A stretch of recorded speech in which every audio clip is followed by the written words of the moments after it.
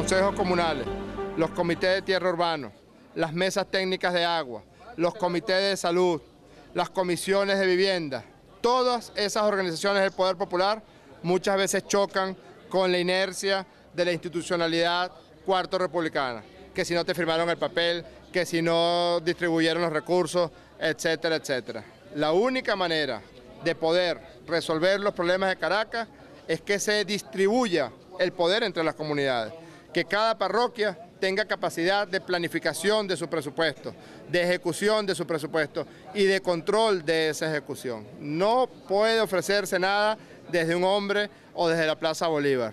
Ya esta revolución, a través de la guía del comandante Chávez, ha señalado que la planificación, la ejecución de políticas de forma colectiva es el mecanismo que esta revolución democrática, participativa y protagónica ha establecido para construir el socialismo. Ya este pueblo está suficientemente maduro, este pueblo ha avanzado suficientemente en la revolución bolivariana y le cobrará con suficiente firmeza a aquellos gobernantes locales o regionales que nos sigan el ejemplo del jefe de esta revolución, del líder de esta revolución, que está en permanente contacto con el pueblo de Venezuela. Es imprescindible entonces que después de eh, escogida esta candidatura, uno de los acuerdos programáticos que se estableció es que la campaña electoral sea alrededor de un programa de gestión, que no es necesario esperar hasta el 23 de noviembre para iniciar estos procesos de construcción de una gestión con el pueblo organizado. No, inmediatamente después de escogido el candidato del Partido Socialista Unido de Venezuela, es el trabajo de la construcción de la gestión de una vez con las comunidades. Si algún gobernante cree que por la vía de la manipulación o del clientelismo lograría una candidatura e inmediatamente le daría la espalda al pueblo, pues bien, este pueblo le cobraría con muchísima fuerza esa traición, porque no es más que una traición pedir y ponerse de acuerdo alrededor de un acuerdo programático y no cumplirle a este pueblo de Caracas. Este pueblo está esperando respuesta y está esperando respuesta eficiente. No es verdad que los socialistas no somos eficientes. Ineficiente es el capitalismo, que siembra muerte, que siembra destrucción, que siembra desigualdad.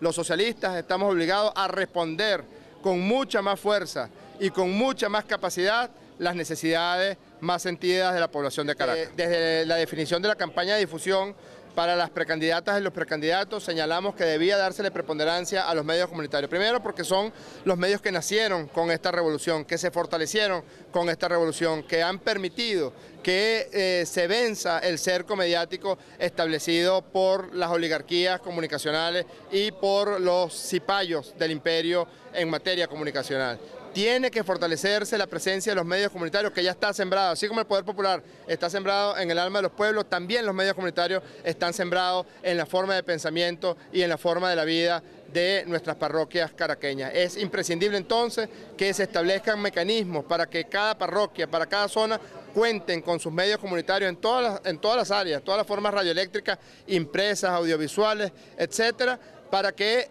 esos medios reciban principalmente el apoyo por parte de los gobiernos locales y de los gobiernos regionales. A veces se asombra de cómo se llama, se convoca a los medios comunitarios para, que sean eh, audiencia de, de, sectores políticos, de funcionarios, pero siempre las pautas publicitarias terminan yendo a los medios tradicionales. Nosotros necesitamos, si creemos en esta institucionalidad revolucionaria y los medios comunitarios lo son, necesitamos fortalecer esa institucionalidad y precisamente de esta gestión que intenta procurar un programa colectivo, los medios comunitarios tendrán un espacio preponderante. Eh, los batallones socialistas establecieron una propuesta eh, macro de diagnóstico y de programa. Se identificaron problemas muy importantes como es el caso de la inseguridad, el caso de la recolección de la basura, el caso de la vialidad en la ciudad de Caracas. Te puedo hacer dos ejemplos para no extenderme demasiado. Seguridad y recolección de la basura.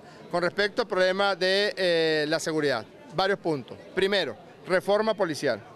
La reforma de la policía no va a resolver el problema de la inseguridad, que es un problema estructural, pero no se puede resolver el problema de la inseguridad sin reforma policial. Por eso el gobierno del presidente Chávez aprobó por vía eh, de gabinete habilitante la ley de Policía Nacional que va a permitir una reestructuración completa, una reforma completa de la policía. La policía al servicio de la comunidad, la policía junto con la comunidad resolviendo los problemas de inseguridad. No la policía hostil, no la policía que agrede, no la policía que entra a saco en las comunidades y en los barrios.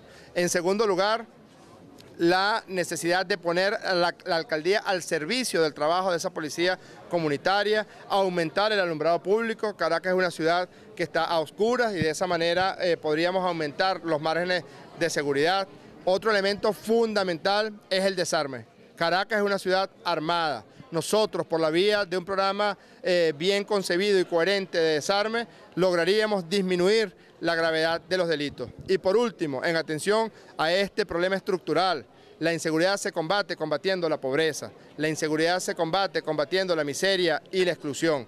Y sobre todo atendiendo a los jóvenes.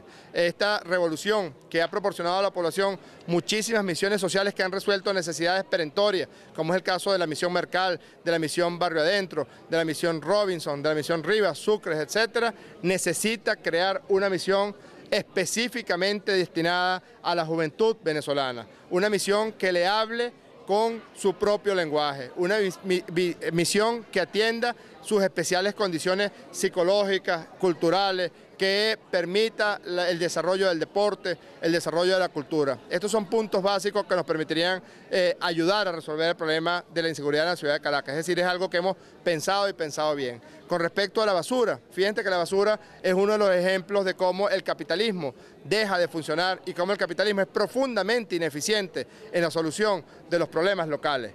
La basura en Caracas está privatizada, está en manos de una serie de empresas que son muy, pero muy ineficientes. Es necesario entonces comunizar, parroquializar el problema de la basura y junto con las comunidades estableceremos primero un proceso de recolección y de prevención en materia de eh, crear conciencia con respecto a la recolección de la basura, que la recolección de la basura sea un instrumento de trabajo para los consejos comunales, un medio de ingresos para los consejos comunales y no para empresas monopólicas y también en una segunda fase establecer un mecanismo más complejo que incluya el reciclaje de la basura.